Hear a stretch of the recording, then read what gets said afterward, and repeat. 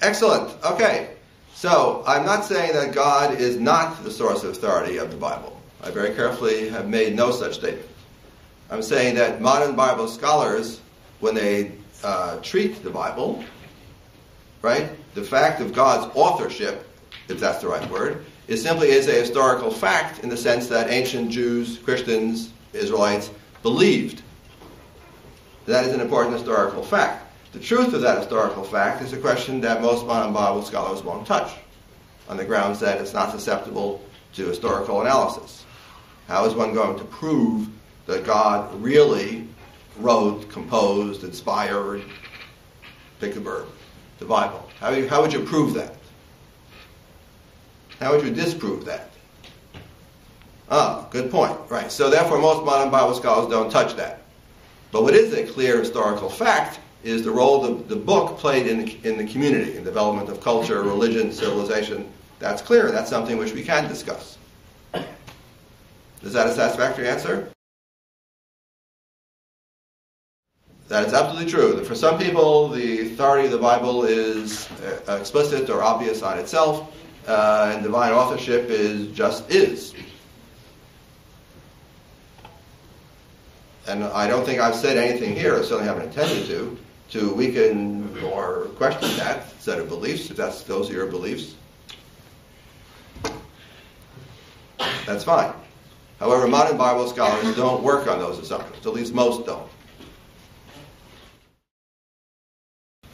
Today, the Bible is main ideas. So last time we spoke about the Bible as an anthology, right? The collection of various books, different genres, written over a long period of time, at least several hundred years. Uh, and yet, what I'm doing today is talk about the unity of the Bible, right? Even though the Bible is a diverse document, uh, a complex, uh, multi-tiered, multi-level document, nonetheless, we could say the Bible says something. Or for dramatic purpose, I could say the Bible teaches us that. What does the Bible teach us? Again, whether you want to learn it or not is not my business. I'm simply saying this is what the Bible says. What are the main points of the Bible? Here we are. Theological truth claims God is the universal God who created the entire world and established a moral order. This, I would say, is perhaps the basic theme of the entire Hebrew Scriptures. Now, we already are very deep waters already because we have a whole bunch of complicated things to, uh, to uh, disentangle here. So, God. God is sometimes goes by different names in the Hebrew Bible. Right? And this point is made much of by the authors of the documentary hypothesis about which you no doubt have read in your reading for today. yes. Uh, or you will. So the documentary hypothesis, which says that the Torah was put together out of pre-existing documents, right? So one of the uh, hallmarks, uh, one of the uh, beginning points of that scholarship was the observation that God goes by different names in the Torah. Sometimes God is called YHWH. Those are the four Hebrew letters, Yud, He, Vav, He, whose exact pronunciation we don't know. The only thing we know for sure is that Jehovah is the wrong pronunciation of those four letters, but the correct pronunciation is actually somewhat debated. And I, as a traditionalist Jew, don't want to pronounce the name of God because, well, we Jews just don't do that. And besides, we don't know what it is. So uh, one name of God is YHWH, usually translated Lord. Another common name for God is Elohim, usually translated God. The word, the name YHWH, the four-letter name of God, is, as we will discuss in the coming weeks, is found only in Israelite materials. Seems to be a quintessentially Israelite name of God. Whereas the other name, Elohim, is a grammatical variation on a name of God found all over the place in the ancient Near East. So Elohim might be translated not so much God, but perhaps the deity. Just making it clear this is just some idea which is everywhere in the Near East. Whereas YHWH is something uniquely Israelite.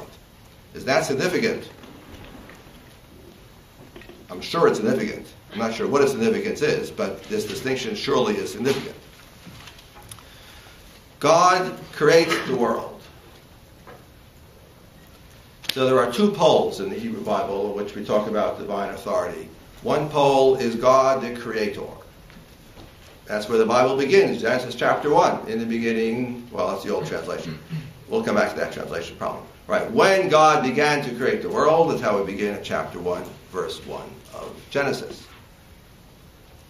And the Bible will regularly appeal to the creative act of God as the legitimation of divine authority. God has the right to tell you what to do because God created the world. He's the boss, He's the landlord. And you are simply tenants.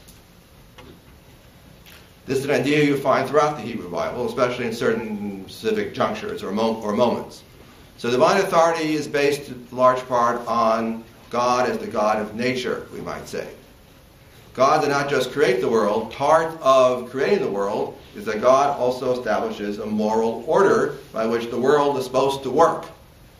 There is good and there is evil. There is right and there is wrong. And human beings have a moral responsibility to act appropriately. And if they don't, then God, the Creator God, who set up the whole world and set up, set up the patterns for life, that God will punish you just as that God will reward you if you follow what, if you do what you're supposed to do, if you do what you're told. That's one pole, God, the Creator God. The other pole is God, we might say, the God of history. Right? God is involved in human events. God supervises human events. God is in charge of human events. Right? God has a stake in how humans behave. So again, if they behave properly, God rewards them. If they behave foolishly, wickedly, God punishes them. And out of all the historical acts of God, the one that occupies the most space in the Hebrew Bible is the Exodus from Egypt. The Israelites are enslaved in Egypt. We'll read the story in a couple weeks. The Israelites are enslaved in Egypt, and God, via his chosen emissary Moses, God redeems them by a display of power. That act of divine intervention in human history is appealed to several times throughout Scripture as a way of showing that God can do anything. Specifically, when it comes to rewarding the righteous and punishing the wicked, we can trust God because God will do it, God has done it, and God will do it again. These are the two poles the Creator God, the God the God of nature, the God of history, who goes by different names, YHWH, or Elohim, or El, but it's all one God.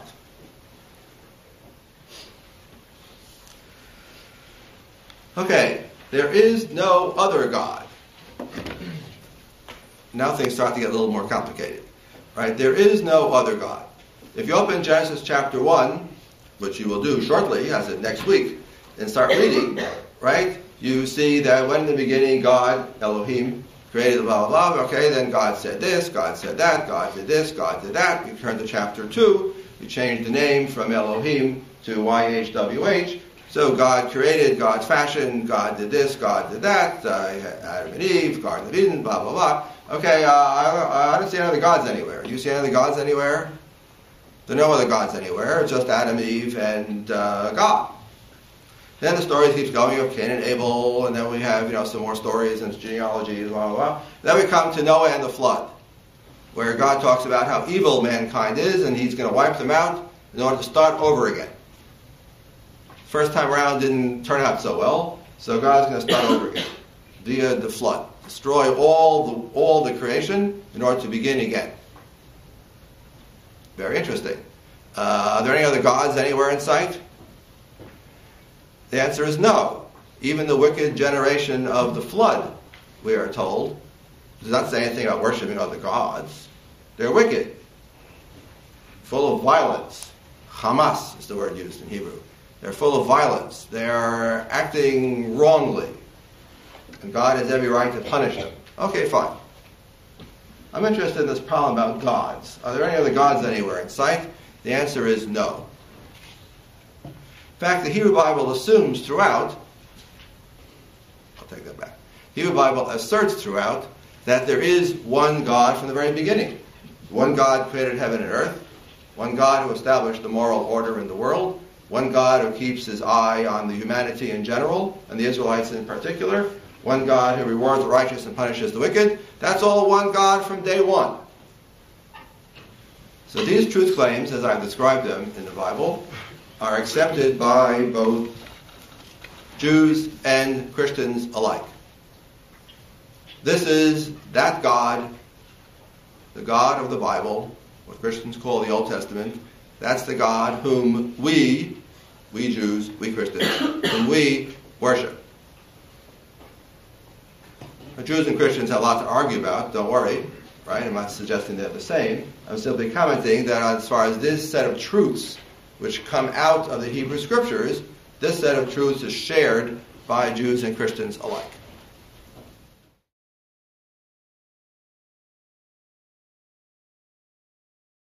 Uh, there's a question about what we might call monism versus dualism. Uh, at the end of the day, Christians wind up the Jewish belief that in addition to God, there are other forces out there, some of which are hostile, some of which are contrary, some of which aim to thwart the divine will, whose sole pleasure and purpose is to seduce humans to, from the path, the true and straight path, to the path of error and sin, right? Uh, for Christians, this will loom very large in their understanding of the construction of the cosmos. Whereas in Jewish thought, this had its moment and then is eclipsed. Later on, Jews retreat to some extent, not completely, to some extent from. So for Jews, for Jews, there is I would call Jews Judaism a monism, and Christianity I would call dualism. But you have to allow for all kinds of variations in these very large and complex systems of thought. It all depends what you're looking at and whom and so on. Uh, that's part of an answer to what you're saying. I want to talk about autonomy. That's a complicated problem for both Jews and Christians alike. How do you have human autonomy and an all-powerful God? I'm not the first person to notice that these are not entirely compatible one with another. And yet they are somehow both simultaneously true. Right, humans have autonomy, but yet God is all-powerful. Jews and Christians share that paradox. Okay, uh, ready to move along? Thank you. Any other questions? Uh, Genesis 1, verse 26. What are we going to do with, and God said, let us make Adam in our image. Our, let us make Adam in our image. Ugh. Isn't that a plurality of gods? Well, uh, yeah, the answer is yes. It's God speaking plurally. Uh, does that mean that there are many gods? Or does that mean that God got help? Or does that mean that God has assistance? Assistance? Uh, well, this is a cryptic point. There's no denying it. It's cryptic. Jews and Christians will argue about this. What it really means is probably, in context, it probably means God, who is, who is imagined as a king, right? The king, as we all know, never sits all by himself in the throne room. That's not the way kings behave. Kings always sit surrounded by attendants and officers and soldiers and ministers and dignitaries of all kinds. That's the way kings are. So God, too, is imagined as having a court. So God is speaking when it comes to the climax of the creation, the creation of Adam, which means humanity, uh, the climax of creation, then here God is working with his court. That's probably what it means. And then later Jews ran with that in one way, and Christians ran with that in a very different way. And that's all I'm going to say right now. But you're right. You put your finger on a um, interesting verse. We'll come back to that. Chapter 1, verse 26. Okay, thank you. Other questions? Okay, so the official party line, the official message of the Hebrew Bible is there is one God in the language of Deuteronomy. There is none else. Ein od milvado. There is no other. Period. However, if one reads the Hebrew Bible carefully, as no doubt you will in the coming weeks, or even not so carefully, just read straight along, it's pretty obvious that the uh, Hebrew Bible itself is aware that out there the situation is very complicated. This idea that we Israelites worship the one true God and there is none else, the Bible itself gives us lots of information to show the Bible itself is aware that this view is not without critics. This view is not without dissidents. So let's go talk about that. So I want to talk about these two points. There is no other God. I'm going to give it that. Now we'll talk about uh, the reward and punishment. I'll come back to that. So there is no other God. The Bible is full of stories of idolatry. What is idolatry? Idolatry in the Hebrew Scriptures, uh, there is no word, by the way, in the Hebrew Bible for idolatry. Uh, it's a nice uh, Greek-English word, but the Bible nowhere conceptualizes this mysterious thing called idolatry.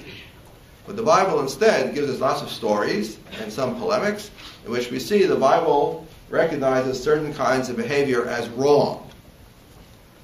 And we lump these behavior together under our title of idolatry. One kind of behavior is called idolatry, is to worship another God. An Israelite may not worship any God other than the one true God.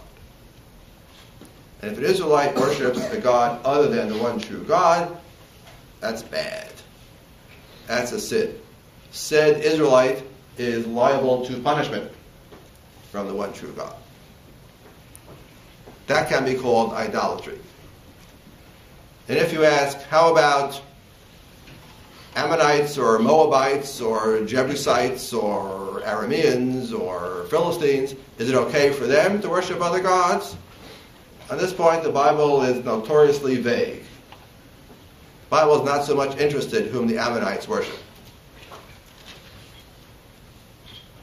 Right? They can worship Milcom, and they can worship Chemosh, and they can worship Baal, or they can worship whoever they want to worship. It's not my problem. The Bible is making interested that the Israelites shouldn't worship.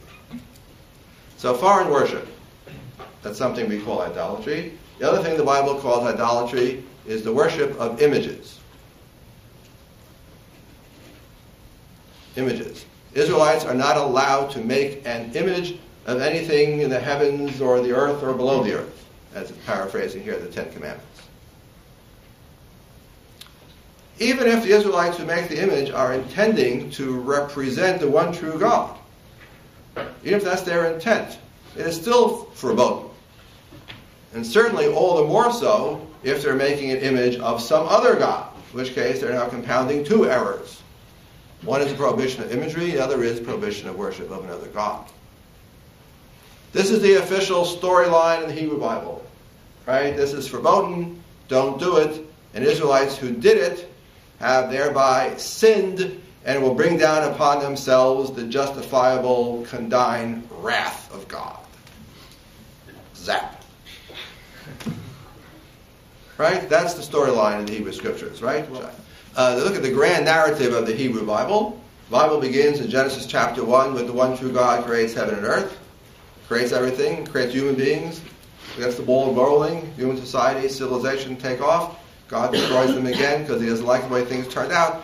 And then he tries again with Noah and the flood. Still doesn't turn out so well. So he picks a specific clan, family to focus his attention on, right? And meanwhile, all we have is this one true God. There were no other gods anywhere.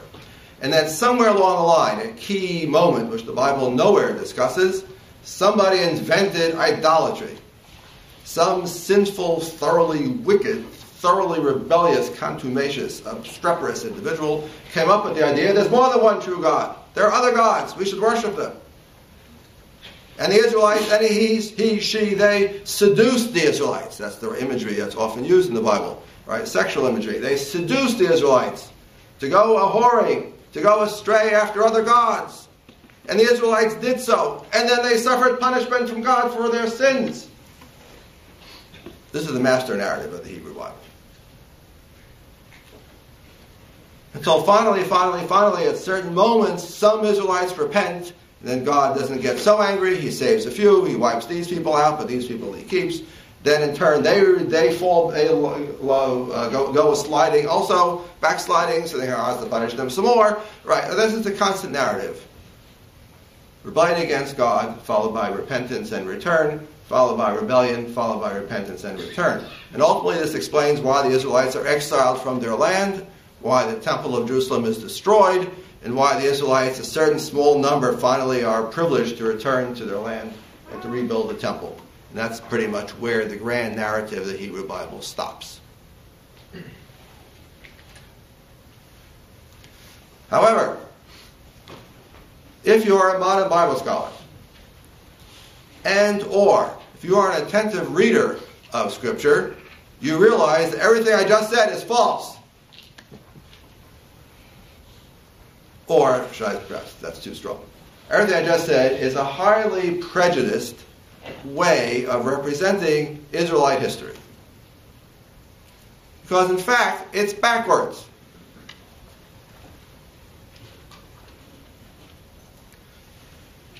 So the, modern the Bible would have you believe that the world begins with monotheism, I may use that word, with the one belief and worship of the one true God, and then the world lapses into some idolatrous mode of worship, which is a rebellion against the one true God. Whereas, according to modern Bible scholars, we are convinced that this is simply completely backwards.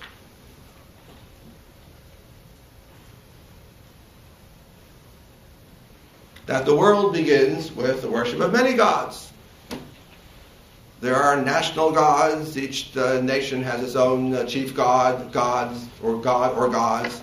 There are domestic gods. There are gods of nature. There are all kinds of gods. Gods with temples, gods without temples, gods with domestic shrines, all kinds of gods who are worshipped in all kinds of different ways by a wide variety of peoples. And the Israelites are no better, no worse, no different than anybody else. They too worship a wide variety of gods. Again, the national, domestic. Classic example of the domestic gods. Any archaeology student will tell you one way you know an Israelite settlement. Interesting archaeological question. When you're digging up, you know, shards of the bottom layer of a house, what's what society are you looking at? Is it Israelite or is it not Israelite? Interesting question, right? So one way to know, there are all kinds of archaeologists have come up with various ways of trying to distinguish between Israelite archaeological remains and non-Israelite archaeological remains. They don't say on it Israelite right? They don't have big Hebrew letters on it, so you don't know. So one way to know, there are various ways. One way to know is if you find these things in, in the in the layer of domestic architecture, you can be 99% sure it's Israelite, because these are found by the thousand. These are small figurines. The top half seems to be that a figure of a woman from the waist up, with usually very prominent breasts right? Uh, stylized woman, you can see you can see that. And whenever scholars see large breasts, we assume immediately it must be fertility, because what else are large breasts for? Right, so we have these are must be fertility figurines, some kind of domestic piety. These are found in houses. Right. So what the Israelites did with these figurines, we don't know, but clearly they are part and parcel of domestic Israelite culture. So much so if you find these things, you can be pretty sure you're digging into an Israelite house. Now, class, what would you call these figurines? I know what I would call them. I would call them idolatry.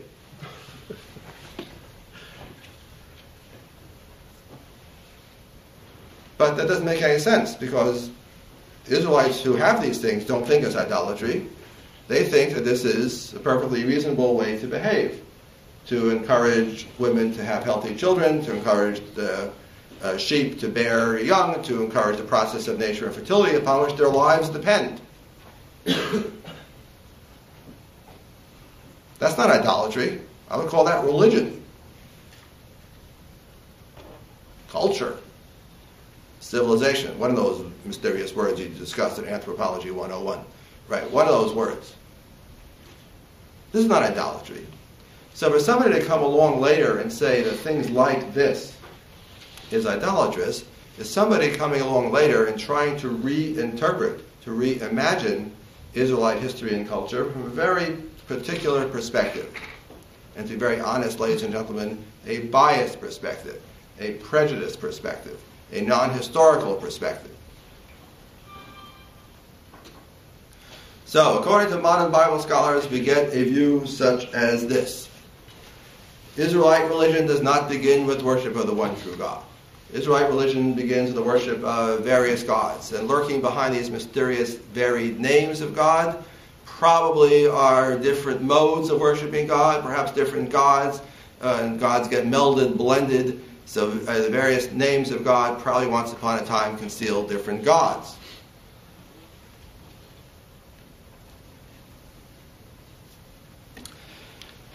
So when do Israelites discover the one true God? Or if I can use the word monotheism, belief in the one God. According to the standard view, which has been endlessly debated, but I'll give you the standard view, and Chris Hayes talks about that in her uh, article on your reading. According to the standard view, sometime in the 8th century BCE, we have the rise of the God alone party, in the memorable words of my teacher, Morton Smith in his wonderful book. There's a movement, a school. He called it a party. He didn't mean a party with beer. He meant a party, a, a group, uh, uh, yeah, the movement. To say the reason we Israelites are getting into trouble, the reason the Assyrians are beating us up, and the reason why we Israelites are in a great deal of distress is because we're not worshiping our God properly. Our God is a jealous God, and our God does not want you to worship other gods. Henceforth, we should worship the one true God, and that God, and that God alone. The imagery that's used to understand this relationship is marriage. Just as a wife is obligated to have exclusive loyalty to her husband, similarly, the people of Israel, now imagined as the wife, right, owe exclusive loyalty to their consort, who is God. Just as an adulterous wife gets kicked out, similarly, an adulterous Israel will lose divine protection. This is the imagery you find in the book of Hosea, this, uh, most famously, uh, from the 8th century BCE. Here we have a group of people, thinkers, philosophers, we might say, who are trying to reimagine Israelite religion and arguing the key point which we have screwed up until now, which henceforth we will get straight, is now we're going to worship the one true God, the one true God alone. Interesting question, Mr. Hosea, or Mr. Isaiah, Mr. Amos. Uh, these prophets, who apparently are the spokespersons of this new movement, if you trust modern Bible scholarship, it's new. How about other gods out there? There are other gods out there, aren't there? Oh, yes, there are other gods out there, but we're not interested in them. They're not my problem. As long as you worship the one true God, the one true God alone, you are satisfying the divine mandate. Like the wife. There are other husbands out there, but they're no consequence to me. I have my husband. Pay attention to your husband, and don't worry about other husbands.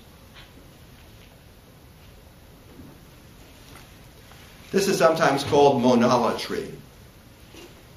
Latry, L-A-T-R-Y, from the, like the same root as, as an idolatry. Same root. Latry means to worship. So the emphasis is worshiping on the one God, not so much on the theological concept whether there are other gods, but focusing on the fact that Israel is, is liable to punishment if it worships any other God other than the one true God. However, as the centuries go by, if you believe modern Bible scholarship, in the 6th century BCE, we have the, the intensification of this school, this God alone school, and now comes to forward the idea, at least this is how, this is, again, all these points are debated. This is kind of the standard view. In the 6th century BCE, when the Israelites have been exiled to Babylon, the Babylonians have destroyed their temple, exiled them, and now in dribbles and drabs they are coming back or dream of coming back. At this point, God's power, paradoxically, is not imagined as less than before, but divine power is imagined as even greater. You know those Babylonians who beat us up and destroyed the temple and exiled us? Well, they were working with God. They're in the God team. They just don't know it. Because there is only one God, period. And how about Baal and Nebo and Marduk? Ah! Nothing, I tell you. Just smoke and mirrors, figments of the imagination, vapor. Pay them no heed, because they are things of naught. That's the 6th century BC, when all of a sudden we discover not just monolatry, but we discover what might, we might want to call monotheism, the idea that there is only one God and there is none else. This, this set of beliefs from the 6th century BC is then projected backwards onto Israelite history, is then projected backwards onto the narratives of Israel, is then projected backwards onto the story of the creation of God, as if Adam and Eve knew only the one true God, as if all the figures of Genesis know only the one true God, because there, are, there, is, there is no one else.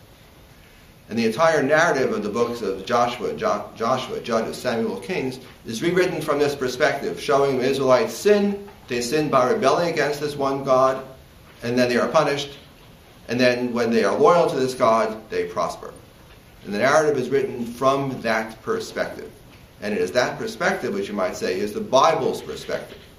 Even if, from our point of view, it is not historical. Do I call that truth or not? That's up to you. I'm not going to touch that. It is certainly not factually historical, even if it may be theologically true. All right, my time's just about up. I'm going to stop here. We'll continue this on Wednesday, and Wednesday also we'll look at some timelines and try to make these things clearer to you. Thank you.